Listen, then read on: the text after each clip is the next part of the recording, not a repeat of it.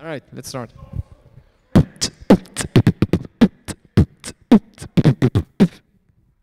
right, that's enough. I have to write a rap about Swift. Uh, probably as short as uh, the song from James. It's just a verse and then SourceKitService crash. Um, that's very low. Can you give me a little bit more? Thank you very much. Um, all right, uh, let's start with this panel. Uh, uh, first of all, I have a very important announcement for all the beloved. Somebody's coming in. Michael. Um, for all the beloved uh, dead animal eaters among us, I have a very amazing news, which is that you remember what Lex said about uh, making decisions. I kind of reversed a little bit the decision, and uh, we will have meat tomorrow. Uh, I didn't say we will have a lot of meat. I said there will be some meat, so the first one being there will have it. Uh, um, yeah, that's exactly what Lex was saying this morning. Anyways, um, all right, let's for this panel, uh, it's which is going to be shorter because we're running super late and we're still waiting Robin, but she's uh, just arrived. Actually, that's funny. I didn't mean to say we're waiting for you just when you entered. Actually, welcome. Um, so for this panel, I will have a couple of people which I will introduce, and the first one of these will be uh, will be when I click on the button. Uh, Wolf, where are you? Come down. Come with us. Join us.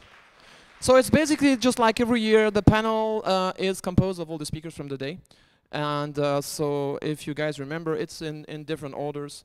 Uh, I will now uh, introduce somebody which uh, which we just left a couple of minutes ago, which is Marcel. Where are you, by the way? There. And number three, Mr. Lex Friedman. So we will we will have to share the mics, guys. We have four mics uh, for all of us plus the you guys. Because if you guys have a question, obviously, just uh, use the power of asking a question. Number three, uh, number four, if I could count, that would be awesome. Number three on a zero-based index. Got it. Um, that would be Michael.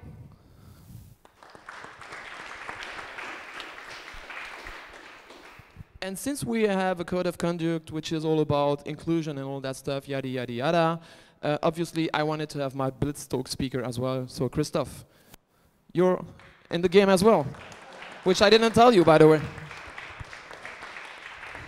And as you can see, he's even bigger than the other guys. So uh, you're about to become famous.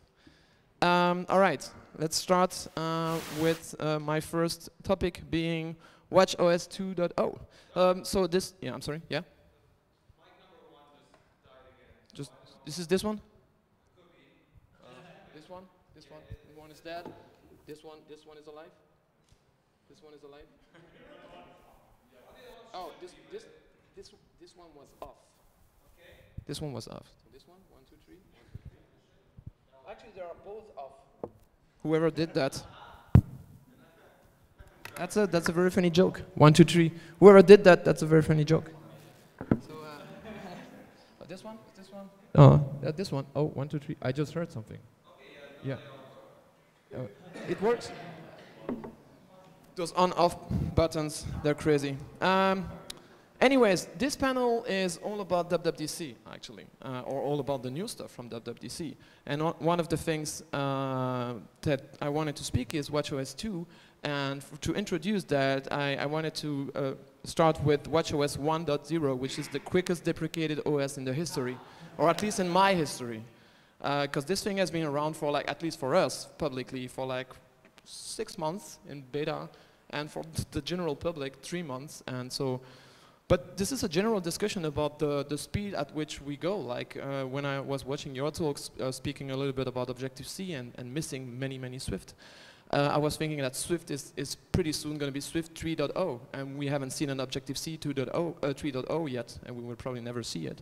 Um, it seems to me that it, it, it's crazy the pace at which we are going, and as a general discussion rules, whoever starts with a mic, um, the, the fact that they had you working on WatchOS 1, and then they're like, hey, by the way, redo everything.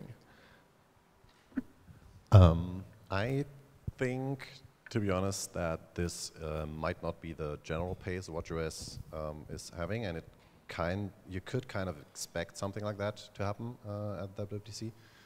Um, I I feel a little bit like Apple tried to um, screw people by telling them how easy it is to implement WatchOS 1, um, and hey, you just have this little companion, and it's very easy. Just uh, just a quick extension to your actual app. Um, now that many developers have this extension, now they're telling you, hey, by the way, it's not that easy anymore. Now that you have the support, um, you probably maybe just redo all your data um, handling and now it's a complete new app and it's way more complicated and you really have to all these features you can use and you should probably use now. Um, so that's, that's really like, um, I think it was, for Apple it was a very nice way to get as many developers as possible to quickly develop for the watch. Um, because I think if they had released WatchOS 2 as WatchOS 1, so if this would have been the first release, um, they probably a lot of developers would have thought that it's not worth the the benefit is not worth the effort to do a complete uh, second app uh, besides the iOS application. And um, with this approach, they kind of forced developers into supporting WatchOS 2. Yeah. Redo your data. Data is easy anyway, so it's and it's all about storyboards, right? On on. I think it's it's also clear to me that Apple set a deadline for when they were going to release the watch and then released it. Uh, with WatchOS 1.0 not being as baked, as finished as Apple wanted it to be. Um, you know, the original Apple Watch unveiling keynote, they showed off features that they didn't, didn't launch and have now re-announced as part of Watch OS 2.0. Uh, just some of the different watch faces, the ability to set your own custom photo watch face. They showed it initially, and then it wasn't there, and now it's going to be there, um, which I think is the maybe even a necessary evil, but the danger of having a hard deadline that you give yourself and telling the entire world when it is, because they could either hold it back and say, well, we're not ready and we're going to delay it and get that bad press, or just release what they had, which is, I think, what they chose to do. They cannot do that for everything, right? Like um, um, HomeKit. I was thinking about Elgato and, and Uli. They introduced HomeKit last year, and they reintroduced it this year because now it's really ready. Yeah, but the well interesting thing, Apple is, is very great in exactly not talking about, hey, we're sorry we haven't got it ready in time. They're just like, um, they don't they don't don't ship it, and then uh, after a year they're like, hey, we have this cool new product, and and they like hope nobody will remember they already introduced that. Yeah, I mean one of the, one of the things, of course, Apple used to not pre-announce. Um, and they've started pre-announcing, and then they found that, like everybody else, they, you know, software is hard, and you can't predict shipping dates, and Oops. So, uh, you know. Oops. um, all right, let's move to the, to the second thing, which is uh, kind of a more technical one, which is the whole point of running code on the watch. Because um, this is, this is a big one. Like, when they first were there, they were like, oh, the storyboard's only on your watch. And like, what? Sorry? Can you repeat that? Yeah. I'm, so, I'm sorry. and now this time it's like, hey, actually, code is running on the watch. This is kind of a big one, probably for you and for anybody who has done uh, WatchOS, right? Um, I think it is kind of a big thing for, especially for the running applications, like the the, the whole sports um, area. Um, but still now, especially with the connectivity, um, it's to me it's very unclear where you want to run your network code, because um, again there is no um, background tasking at the moment. so you actually do want to have your long-running code on the phone still, but in case the phone is not around, probably the better approach would be instead of showing an error, then trying it on the watch. So I'm not quite sure if they want us to now write all networking code twice, like once run it on the iPhone, and if this doesn't work, then try it on the watch, or what they are up to. Yeah. This is the impression I got from DubDub, by the way. And I was like, uh, can you repeat this? Um, am I really hearing you want me to write twice the same code on like two different locations. you call super twice too. Uh, use the mic. it's, it's, always better. You call super twice too, yeah, and things work then. So yeah. That's what it is. That's why you go to the labs, right? uh, to explain them how it works. Um, so, uh, anybody have any questions? Just raise your hand. I will uh, go with the mic over there. Um, and yeah, anybody else wanted to say something on this topic? Um, probably not. So mm -hmm. let's. Uh, yeah. All right. Um, you will be part of the panel tomorrow, by the way. So I can feel already that you are Speaking of running code on the watch, um, I wonder if bat- about battery life. I mean, it's already a problem sometimes on the 38, but mostly it's a problem because my phone drains for some reason. So if we have running code on the watch, what are your thoughts about how that's going to affect battery life, maybe in general and maybe in particular on the watch? You'd know better.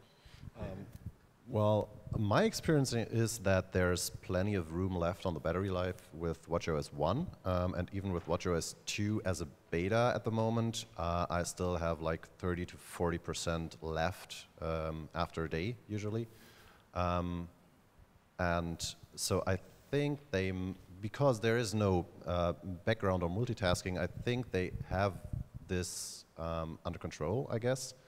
Um, and also with the um, with the iOS 9 beta 2 that came out yesterday.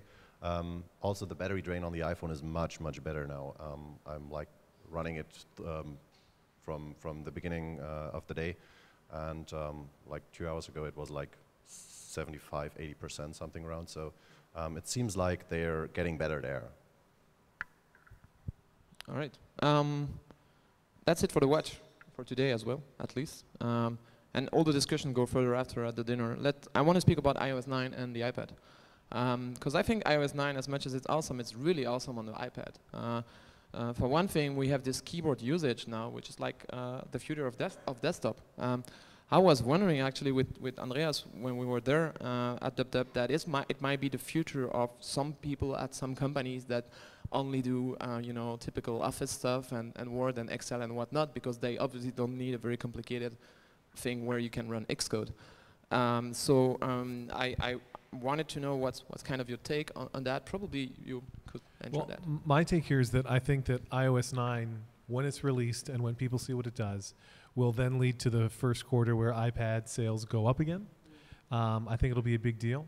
I do believe the rumors about a, a larger iPad getting released, and I think that when it gets released, that Apple will finally put out another um, keyboard accessory because they the very first iPad launched with a keyboard dock. Then they said, now we're just going to sell the Apple Bluetooth keyboard, and I think that they're going to have a Surface-esque keyboard accessory for a larger iPad that'll Thank, thank you for the term. yeah, Surface-esque. That's German.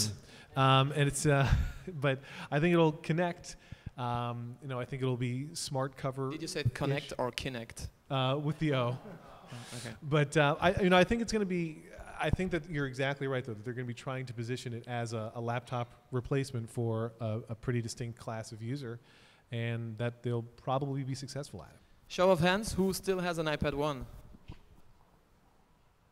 It kind of still works, right? Which is amazing. It's iOS 5, it's running iOS 5, used by my kids now in the meantime. I went from I, from iPad 1 to um, iPad Air 2 last year. Uh, so and all the time around, I'm not a very I'm not a big iPad user. The main reason why I have an iPad is because I'm a developer. Now show of hand for who have this keyboard thingy for the iPad 1. Uh, that's a lot of people actually. Seriously, like three. I, I- thought I, I was gonna be the only one raising my hand. Well, I think one of the reasons that your iPad 1 is still useful is because the iPad, and I have, I have two, um, is not that useful, and it hasn't gotten more useful, really, um, which is sad because, you know, when you, when you go back to the, you know, hey, let's go back to history and, you know, the uh, personal computing, how did that start, right? With Alan Kay's Dynabook. And the iPad could be the Dynabook, but it's not, right? Because you can't actually do that much with it. And I think that's such a missed opportunity um, because it's, it is such an amazing device. And it's so, but, but because it's locked down, it becomes, you know, I mean, essentially, it's a Kindle for me. I don't know. How about I mean, I'll, I'll, I'll disagree though. I, I find it extremely useful. I mean, I, I use a, a either an iMac or a MacBook Pro all day, but I find the when I want to stop working finally and have a different computing device where I can still do stuff and read stuff and find stuff, but not have all of my work quite as easily accessible. That's when I'm really happy to switch to the iPad. and does a good job filling that need. But that's, I mean, that's kind of what you're saying, right? You're, it's, it's useful for you because it is less useful. Right. which is which is which is actually true. I mean, I, I, it's it's it's very similar for me, but uh, I wish it. You know, I mean, and, and, and that role is, is a good role. But uh, on the other hand, I, I, I- I wish it did more. and I think that that's. I don't know if this one's working. uh, it's it should be working. I do think though that um, that iOS 9 is going to change that. Like to me the biggest factor is that it's so annoying to do so many tasks on the iPad right now because of the context switching and having to go back and forth over and over again.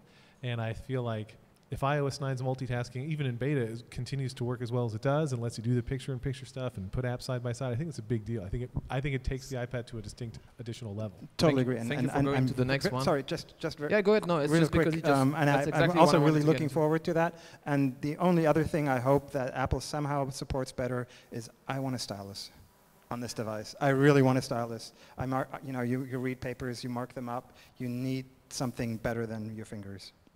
So for the iPad, I actually think they are going to have a stylus because for many reasons, we have one. We have a project, for example, uh, at 7P where people ha- have to actually sign, uh, which is not legally binding at all. Uh, but yeah, it's very hard to sign with your finger. I just wanted to say I don't. Uh, I, I really want to mansplain you right now. Okay, so um, I don't think you want a stylus. I think what most of us want is a pen, like you know Wacom or something. You know that you can do a little more with. Sure. I mean, I mean, I, w- I used to work for Livescribe. I'd love a pen that interacts, but sort of stylus is kind of the. Um, I'll settle for a stylus. but agreed, yes. So I, I forgot to mention at the beginning of this panel rule number one, which uh, you guys reminded me. Please disagree. no. Seriously, No, not. there is nothing more boring than. Uh, you have a question? I don't think we should disagree. Oh yeah, yeah. A stylus, yeah, yeah, a stylus. Every time I hear a stylus, I have to think about Steve. Okay. Oh, a stylus. Well, y again, you don't you- you don't want it required, right, to operate the device, but essentially for for doing markup, for doing note taking, uh, you need. And, and I mean, we have these. I mean, I have a couple. I have I have a bunch of them, and yeah, no, they all don't really work. Now, maybe there's one that's better than the other. Yeah, I this haven't one. tried yet. This Um, one from uh, the Jot Evernote, it works. Okay. If you know, if if and when Apple does release a stylus for the iPad, people are going to say, you know, if Steve were alive, they never would have done this. But Steve, al- Steve said a lot of things that he changed his mind on, right? He said that the one and only iPad size was the 10 And who iPad. the hell wants music on their phone Exactly. So he's, About or videos? Or when it happens, don't listen to that line of criticism. about stylus, there's an awesome one, which is um, the one made by FiftyThree, the the app uh, which won an ADA last year or the year before. It's quite awesome. It has pretty good SDKs, uh, which is implemented in a couple of apps like Sketchnote. Uh, you know, I'm waiting for Force Touch in iPad for drawing. Until I don't have these kind of technology, I would use a st- stylus for note taking, for uh, drawings. We need something to uh, differentiate the touch on the on, the- on the iPad screen. What's your thinking about it? Okay, when Steve Jobs presented the iPhone with the, this loading slide about and no stylus at all, remembering Palm and, the, and this kind of stuff, this kind of device, it was pretty awesome. But the iPad is a business tool, and I think we need a tool like this, uh, like a stylus, with not all applications, but the one which needs uh, precision and things like that. What's your thinking about it? Um, all right. Um, let's move on to. Um, I, I would argue though that the iPad is a business tool because I don't know if it's it's kind of businessy, homey, whatever. Hey, businessy, homey. That sounds that sounds awesome. it's gonna make the business world way way more funny. Are you going to beatbox again? Yeah, yeah. Um, let's go to Swift um, because this is SwiftConf at the end of the day. Um, at the end of the day, huh? Um, Swift 2.0. Um, well, first of all, interesting news from Apple. This guy is open source. I mean, it's not every time, every day, like every year that you hear something open source from Apple. Then again, it's like Apple open source. Yeah, I don't think we'll be seeing apple.github.com anytime soon. Yeah. So, so, so you mean it's not going to be MIT? It might be, you know, uh, they have the Apple public source license, right? Yeah. And uh, that's okay, but it's uh, it's not as composable with other licenses Well, as. what's Clang licensed that with? That's a good question. That, that might be MIT or BSD. Because I mean, that, and certainly LLVM Yeah, I mean, precedes that- it, so. Yeah, that's. and totally- and I'm kind of assuming it'll be in that. That's a good point. That's a really good point. Yeah. Who knows? I, I mean, I And mean, let's hope they just ditch what they did before, because that Mac OS Forge was just terrible, right? Yeah. well, they, they, that, that's gone, right? I, I think the site's still live. Okay. Like, not, not that anyone visits it. I mean, WebKit, the way WebKit is open source is pretty cool. Obviously, you wait sometime a long time between the, the actual WebKit and when Safari is released. But the whole, um, the number of committers and the number of people involved in the project is pretty cool. So imagine we see that on Swift, the language itself, and I think this is totally what Chris Lattner wants.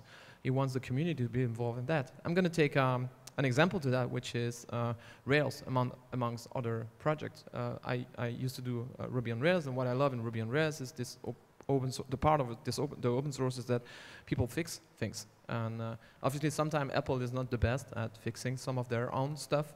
So if some of us help them, we might. Well, that's Shape the remains to be language. seen, right? Of How willing are they to accept pull requests? Yeah. And, uh, yeah, the they home of not invented here. Right. Uh, yeah, Good luck. Well, I think actually before being happy that Swift will be open source, um, let's first wait if it's the same open source that FaceTime actually is open source. Like it never happens. Um, so I don't I don't see that. I mean, it, it could easily be, take Apple still I don't know a year or two to actually publish this Mhm. code. Um, So F- FaceTime is actually not a big deal because since the iOS 9 beta 2 yesterday, it doesn't work anymore. Uh, that's what they wrote in the notes. so that's maybe because they are now using their open source component. Yeah. this, so. Yeah, so so you screwed up the code, right? Like you, you were like, I'm gonna do some changes and go to fail. Oh, um, yeah. Um, well, uh, well, the other thing which is interesting is is we now have try catch. like what? Uh, it's like a year later, like makes me think about you again about uh, don't say. What, what, what did we, say? have a better year? I don't remember what we said last year. I, Well, no. ba- basically last year, yeah, exactly, yeah, yeah. You're, it's ironic, yeah. It's a, uh, it makes us. A- Anybody remember remember garbage collection? The future? Oh yeah, yeah. I was just after that. Crickets. Exactly. Yeah, cricket. Yeah, yeah. No, this is. I mean, I mean, um, this is really the weirdest thing I've ever seen. Like we, you go and like a year long, you you argue against uh, Java developers that this is not the way to do. It. Draw GX. Yay. But I mean, one could argue though, and by the way, raise your hands uh, in, in, in the room because I'm um, because of the sake of willing to be fast, I'm kind of running out of questions, and I want this thing to still keep on for a few minutes at least before I uh, we go to the movie. Uh, uh, but I I can always figure out questions. Don't doesn't care about that. Um, otherwise, I will have Lex do us a daily Lex speak five minutes long about your day today. Did you do the daily Lex today? So this is the daily lex, which is sometimes weekly, right? Yeah. um, so going back to the, the try catch, one could argue that we don't have a try catch, we have a do catch. Ooh, ooh, ooh.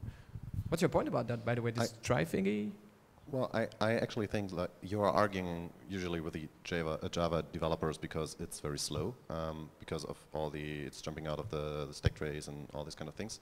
And as to my understanding, that's not the case in Swift. Um, so you don't have the performance um, impact uh, that it has on Java. Uh, even though I don't like the pattern, I think that's still a lot better than exception handling on, uh, for example, Java. Uh, so, um, I mean, on C, C++ and Objective-C had so-called zero-cost exceptions, right? So they were um, um, setting them up was essentially free.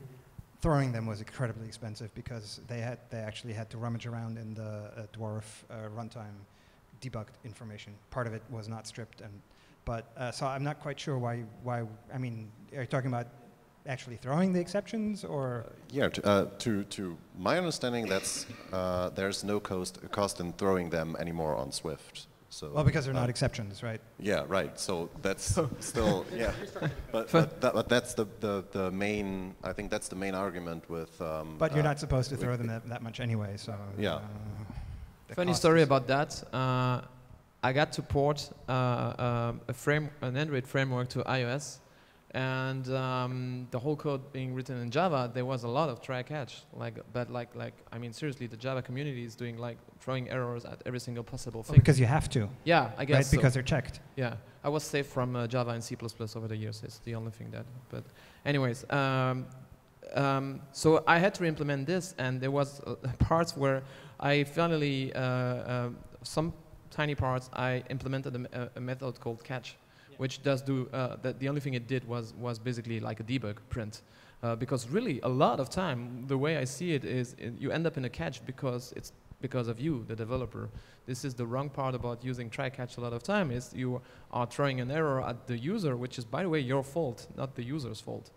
And so this is kind of wrong. Um, but generally, um, uh, kind of a, as a last uh, uh, question, which is probably going to be a long question, the Swift thing, because last year we didn't have any Objective Cologne, so we couldn't speak uh, about Swift, and, and, and, and, yeah, I could just rename the conference. Um, um, I, I, would really wonder what, what's your take, uh, especially you, both of you guys, which are more like the old school Objective-C'ers. Uh, and I will, I, I, will, I will take the take from a PHPer as well uh, um, about Swift generally. And what about the move that Apple is doing? Like kind of, I see it as a more um, high-level move. Um, again, high level, so to say. It's interesting you use the phrase high level there. I mean, in, in, the, in the sense of a high-level language compared to a low-level language. That's what I mean. Well, I, I, I think I would probably disagree with that um, because. Go uh, ahead. Uh, disagree.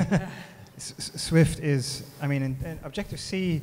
I mean, I mean, Objective C is is a, a damaged language, right? That's obviously true.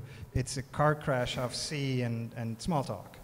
Um, uh, but that also means it's a, it has amazing range, right? Because Smalltalk is incredibly high level. And C is, well, unless you, I mean, it's essentially PDP, PDP 11 assembly language with a slightly sugared syntax.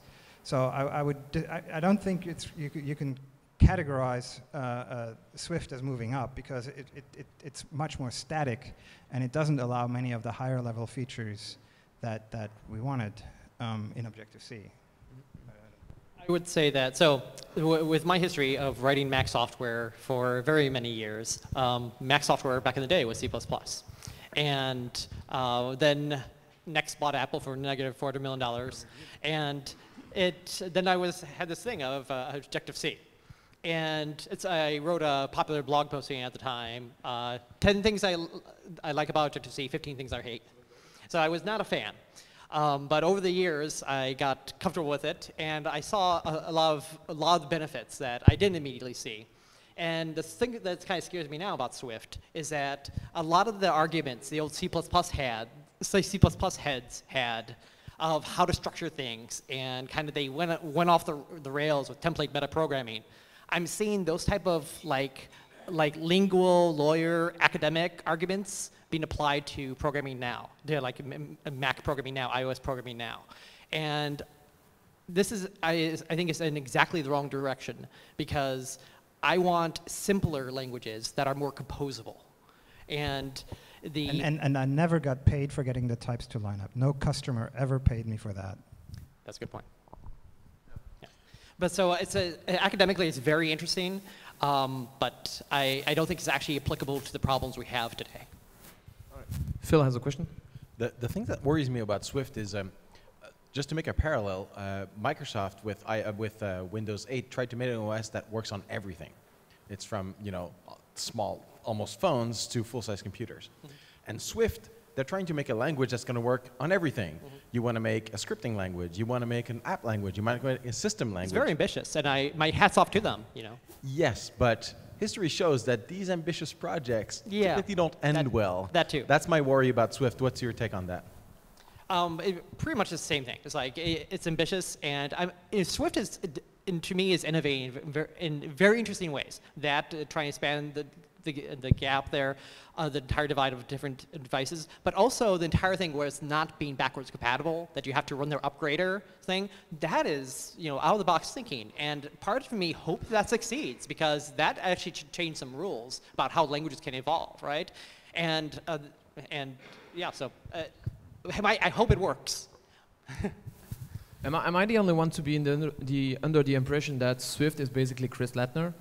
Uh, yes, I mean it was his pet project, and uh, um, that's I mean that's how things so work. The last time somebody had a pet project at Apple that I remember that was Laurent Sansonetti with MacRuby. Mm -hmm. uh, right, it right, didn't end up very well. Yeah. Uh, but this one. well, published. this one has better support. Slightly yeah, exactly, better yeah. support. This one got public, mm -hmm. Swift, and I don't think there is any way they will. You should speak well Swift.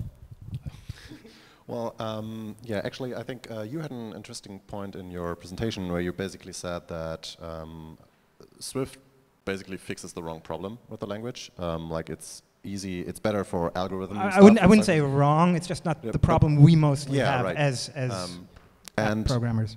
For me, my biggest problem with Swift is that I would really love a statement from Apple on what they are planning in the future. Is Swift something that um, will be there and Objective-C will be completely deprecated uh, in, in some way? Or is this, um, is Swift meant to be um, forever in parallel with Objective-C? Because in this case, I think it's very interesting because Swift does uh, provide very great ways for algorithm implementations and also the functional approach is very interesting. So if you can switch back and forth all the time with, uh, between these two, um, I think Swift is a very great, uh, great, great language um, to have together with Objective-C. But um, if they're really trying to um, like get get away from Objective C and do Swift only, um, that's something that I would find uh, worrisome. Um, I have a comment about that, that I, I would also love some direction about that. But I don't think we're going to get any because I don't think Apple yet knows. Um, they're still trying to figure out. They're really doing a strong push, and they're going to see if that works. But how do, I mean, it's, it's hard to say, okay, we've got this huge foundation uh, you know, of, of APIs and, and SDKs that are built on Objective-C, but we want to do this other language. But to me, I, I agree with you that Apple probably doesn't know that either. Um, but I think the problem there is that to me really signals that we should try to avoid Swift as long as possible just to get them in this, in this uh, uh, state where they say, okay, we can't uh, get rid of Objective-C completely. Um, and that's probably the best way to um, like make Swift go away sometimes. So that's Yeah. also probably not what you want. So um, if Apple would make a statement there and say, don't worry, uh, Objective-C will stay around um, and we will improve Objective-C. Um, and We don't want to deprecate it. Um, that's something that, to me, would um, make Swift um, take up pace probably faster than um, with us not knowing about it. Yeah. So I'm worried actually because uh, while at DubDub, I it was clear to me that Apple didn't make any huge commitment to Swift. They make a little commitment, but the biggest problem, biggest reason why I'm worried is that e- every time you speak to some random Apple guy, you realize they are not so much into Swift yet. Many of those, most well, but of them. that's that's normal for big companies, I and guess, yeah. especially Apple, which is very, f- you know, there are many different fiefdoms Yeah. that, well, they talk to each other, but Yeah. only uh, you know under duress. But I, I mean, and and yeah. for example, the the uh, uh, you know the compiler group doesn't they don't they don't con- I mean maybe it's changed now, right? But uh, they, they they don't control the other groups, and they they they now need I mean they need to convince the internal people. Who, for example, garbage collection was hugely controversial inside Apple, um, as we now know with good reason. And there were people saying, "Over my dead body, I'm not doing this." Uh, Um, and I mean, I just, I, I think this is public knowledge. For example, even you know, at, at, at this company in Redmond, which you know, they have a programming language of their own called C Sharp, but their it. own internal code is like 95% or something C++. yeah. So that's the same thing. It's like Apple is not eating really their own, own dog food. Well, it's Do- Dock, and what, what, what's the other app? Dock is written in Swift, and one more. Dock? Which Dock? The Dock. Really? Suppo- Seriously? Supposedly, I, I, That's yeah, interesting. I read it on the internet. It must be true. so yeah, we, we have to wrap this up. So um, I have one last question because I feel like there is one guy who didn't speak that much here. Uh, so, um, but so, so that's kind of the, up from the top of my head. Uh, who watched? Uh, because I thought it was a very interesting session. Who watched the the, the session at uh, DubDub about uh, the whole auto layout thingy and especially UI stack view? I did. Am I the only one? That's kind of frightening. Did you watch it? Yeah. Um, so, so, so, so, what you guys do you think about the UI stack view paradigm? I, I, I kind of love it. I kind of tend to love it because it's, it's so simple to me that it, in most cases, as awesome as your uh, talk was, it doesn't make a lot of sense to, to wrap your head about around auto layouts. But it's finally, it, but it, again, before you answer, it's again one of those things where Apple was like two years ago or three years ago saying oh, the layout, and then they realized, okay, we probably have to make something else. So, uh, well, um, I was, well, I developed the last year on one app that's still not on the market, and we did exactly the same by hand with table view cells and something like that. And now they published something when we actually, we as a company do not need it any longer, and we will not change it just for the release in two or three months. So, really cool. For the next step, we will definitely use it, but it will still not solve all problems. Yeah. Yeah, I view it as uh, essentially a facade pattern for auto layout, right? It handles a common case, and that's great. That's exa- I wish we had that for core data. Yeah, that, And- uh, go, go ahead. Um, yeah, so that's that's what I wanted to say too. Uh, that's that's exactly this this common case. Um, but I think with um, stack view, auto layout, and just uh, springs and struts, um, the the main thing I think some people are getting wrong for me um, is um, you don't have to decide for one of these. They are they perfectly uh, you can perfectly mix and match them, and there are uh, a fair number of very very good reasons uh, when to still in an auto layout app um, do uh, stuff uh, just by subclassing uh, a view and, and override layout subviews and do the calculations yourself.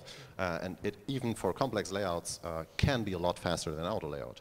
Um, so um, I, I don't think Almost certainly, I mean, faster in terms of coding or faster in, in, in, in performance in, in layouting. So almost certainly. Almost I mean, always uh, faster. auto layout is a. I mean, that's a simplex algorithm.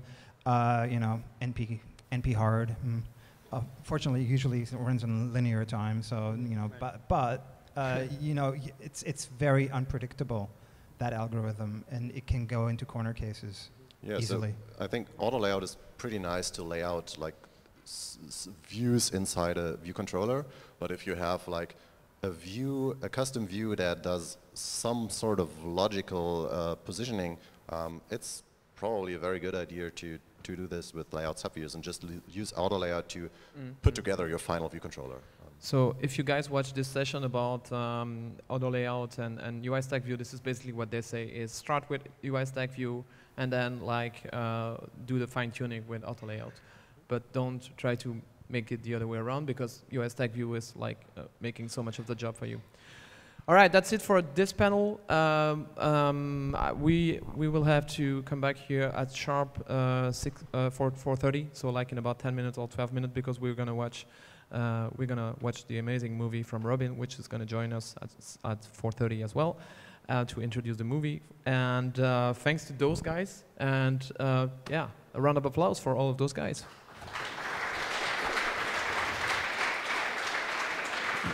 Go get some fresh air because after that we will put you in the dark.